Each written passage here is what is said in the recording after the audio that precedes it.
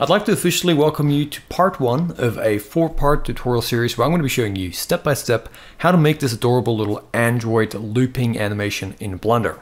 So let me quickly show you the blend file and you can see what we're going to be working on. So here you can see is the blend file. This is also going to be the one that I'm going to be uploading to my Patreon. And it's the exact same thing that you saw in the beginning. The only difference is after I did this four part tutorial, I just tweaked mine a little bit, but we're going to be doing the exact same modeling, exact same rigging, animation. It's all going to be the same for you watching this tutorial. And then I'll upload the final result to my Patreon as a blend file that you guys can download in the description if you're a Patreon. Um, but other than that, um, whether you're a Patreon or not, you can definitely follow this free series and make this awesome looking little Android robot. So let's jump into part one and I hope you guys enjoy. So the new scene opened up in Blender, select all the default objects and press delete. And I'm gonna go Shift A, we're gonna go to our mesh options, add in a cylinder which is going to be the principal shape that our um, Android guy is made out of. So we're going to go into our front view, we're going to tab into edit mode with the cylinder selected. And let's just go S and Z and scale it a little bit up on the Z, about this much. And then we're going to grab these bottom faces here. We're going to go Control B and create a bevel by going Control B. Going to roll the middle mouse button a few times just to add in some segments. Let's go something like this. And then let's grab the top face and once again go Control B and create a bevel at the top as well.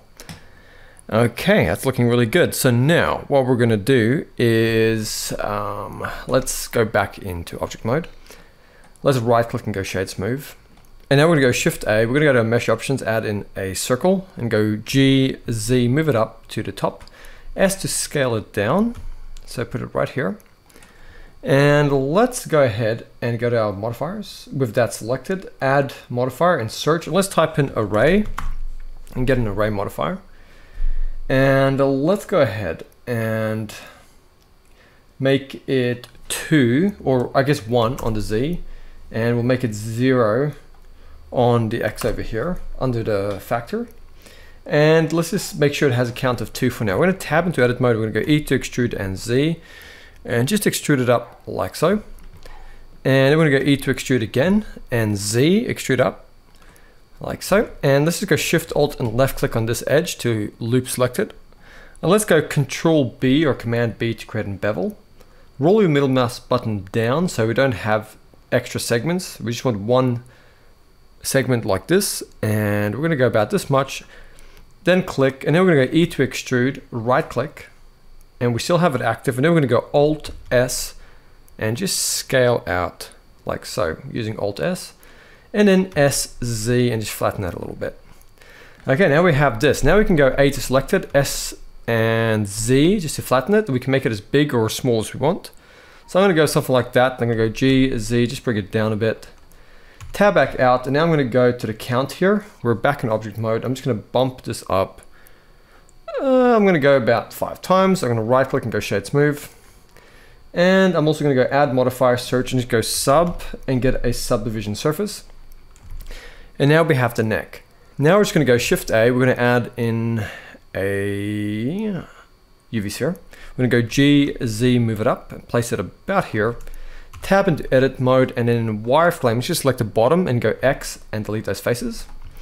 And then we're going to go Shift Alt, left click on this edge to loop selected, and then we're going to go E to extrude and Z to extrude it down a bit. And then we're going to go E to extrude and S and scale that in over here. And then let's go Shift Alt and left click on this edge over here to loop select and go Control B and just create a bevel and roll the middle mouse button once or twice just to round it out. And now we have an Android head. And you can always grab the bottom verts here and move them as much up or down as you want just to kind of refine the shape. I'm going to tab back out, right click, I'm going to go shade smooth. And by the way, you can bring this head down as much as you want or have it high, as high as you want. You can really make your Android unique with that sort of detail. And then we're to go Shift A, we're just going to add in a cylinder. We're gonna go to a front view with that active. We're gonna go RX90 and hit enter.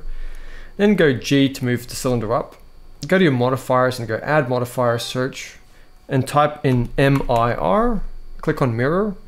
Click on eyedropper, then select the Android head. And by default, it should be set to X on the axis. We're gonna go S to scale it down, G to move it in. And then let's go to your right view by pressing three on the number pad. Let's go G, Y, and just move it forward. So in our front view, this is what we should see. Now let's tab into edit mode, go to our face select option and select the face over here. Control B just to create a bit of a bevel. Then click on the middle face, I to inset, E to extrude in, I to inset a little bit, and then E to extrude, and then Control B again just to create a slight bevel, like so. And now let's tab back out, right click and go shade smooth. And there we have the Android eyes.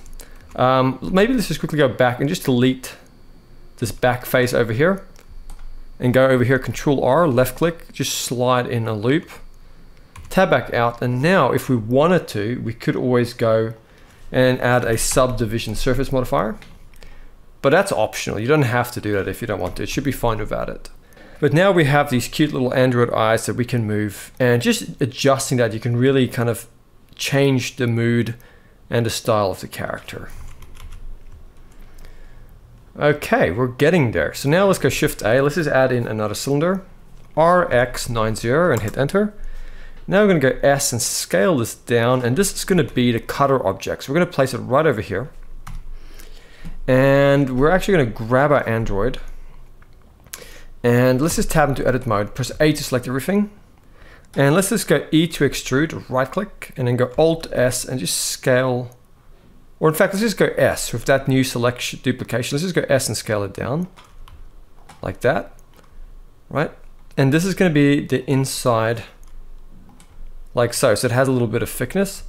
And then we're to tab back out. And now we're going to go add modifier search. Let's just type in Boolean. So B double O and then go Boolean, click on an eyedropper and then select the cylinder. And with our cylinder our here selected, we're just going to right click and go shade auto smooth. And then let's grab this guy over here and just press H to hide it. And let's see how that's worked. Okay, that's okay, but I think we can make it better by coming in here, Control R, roll your middle mouse button just to add in some segments, tab back out, now that's looking a little bit cleaner. So uh, what we can do is we can go Alt H, bring back this cylinder, um, scale it up just a bit, and we're going to press M and we're going to move it to a new collection. This is called this cutter. Go OK. And then we want to turn it off for the render and the view so we don't see it um, in our render.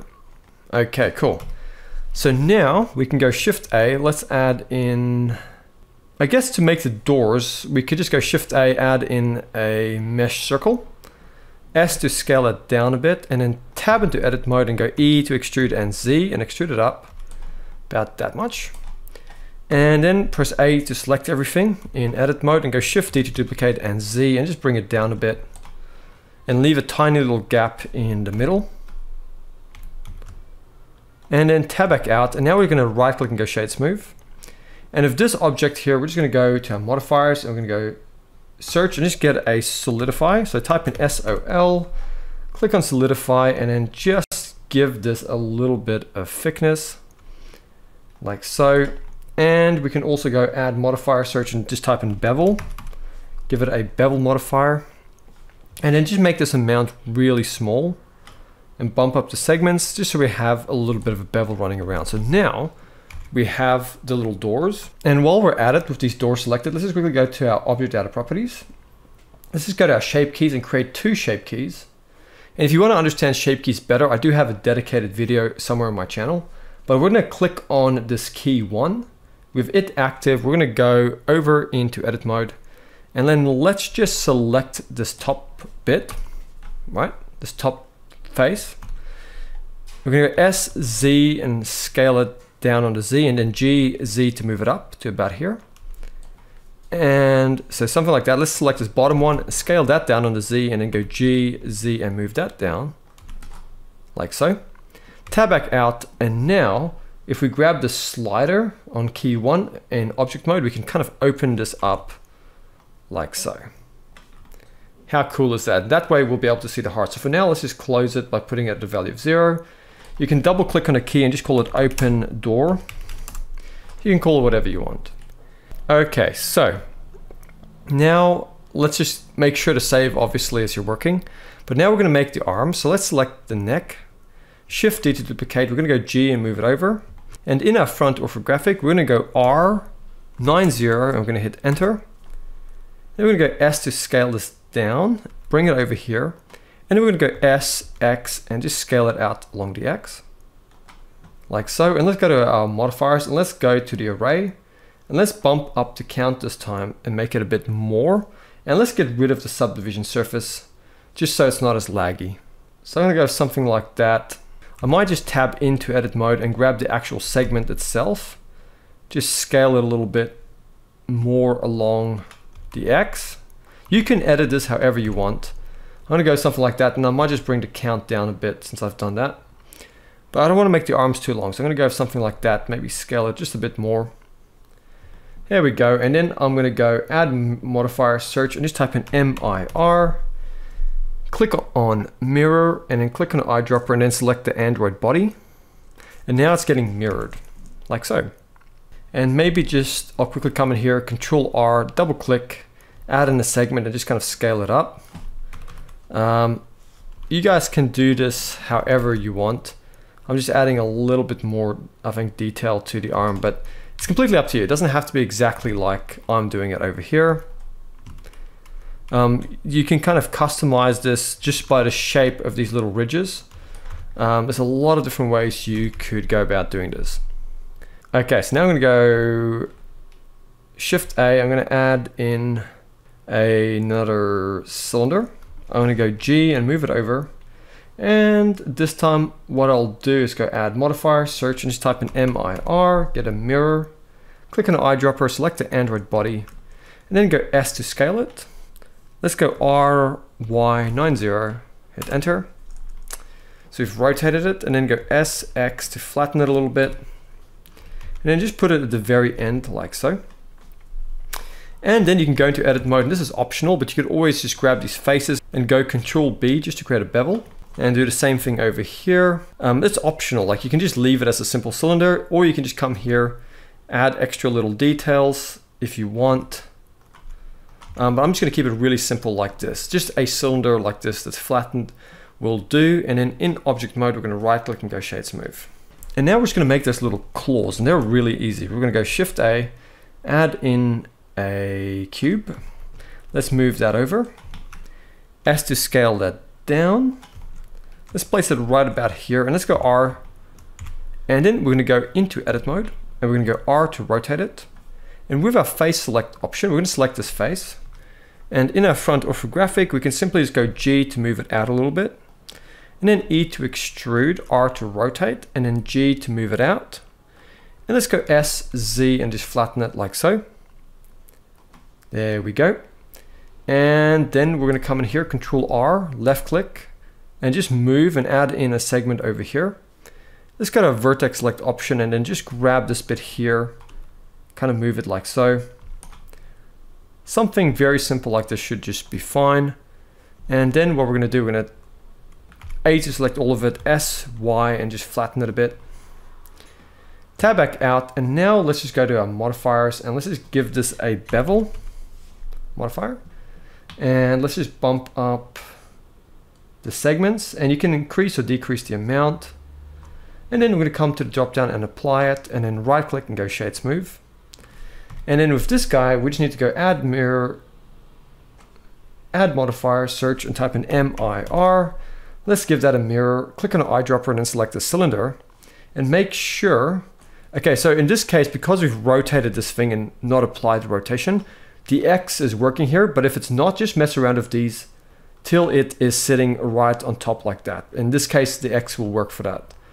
Um, so then I'm just gonna go S and scale this down bring it in like so, maybe rotate it a bit. There we go. And then I'm going to come to the mirror and I'm just going to go ahead and I'm just going to go ahead and apply that mirror. And what we could do is with this selected, we can hold and shift and select the hand and go control J or command J and just join it. Now it's one an Android hand and you can scale it as big or small as you want. You can move it up or down, lengthen the arm, shorten the arm, completely up to you. So now let's just make the feet. So let's just grab the arms. We're gonna go Shift D to duplicate them, bring them down. And in our front view, we're just gonna go R90, hit enter. S to and then G just to move them up, place them over here. And now we can go to our array modifier and just bring down the count. Let's have little short legs like this should be fine. And then we can go Shift A, let's just add in a cube, G to bring it down, S to scale it. And as you can guess, we're gonna go add modifier, search, and just type in MIR, give it a mirror, click on eyedropper, select the Android body, and now you can just go ahead SZ just to flatten it. Go into your right view and this is honestly something you can do however you want. Just grab the face, extrude it out, grab the vertex here at the front to flatten it to make a little toe. Something really simple like this should be absolutely fine. And if you wanted to, you can go control or just press A to select everything, go control B and just create a bevel. Like so. And then tab back out, right click, go shade smooth. And that's the little Android feet and you can scale them however you want. You can position them wherever you want, but they're very, very simple to do. In fact, I might just move mine out a little bit. Like I said, this is personal preference at this point. You could shape this however you want. You really could. So a few things I might adjust. I might just grab the head, bring it up a little bit, move the eyes up and out. I might just grab the body and in edit mode, just select everything, go S, Z, flatten it a bit, and then just, and then tab back out. And I'm just gonna grab that along with the door just go G, Z and move it up. In fact, before we do that, we actually have to bring back the cutter object and select it as well and just move those up. There we go. And that's optional. You can keep the body a bit longer if you wanted to. I'm just going to go ahead, turn off the cutter object. But something like that, I think looks kind of cute. And I might just shorten the arm just a little bit. Once again, this is personal preference at this point. But yeah, there is our little Android guy. So I think what we're gonna do, in the next part, we will be applying some of these modifiers and we'll be adding in a very basic kind of little rig. And then maybe we'll do the animation. If we run out of time, we'll do the animation maybe in part three. We'll see how it goes. But yeah, thank you for watching. And this blend file will be on my Patreon. So you can check that in the description below. That also helps support the channel. So I'll see you guys in part two.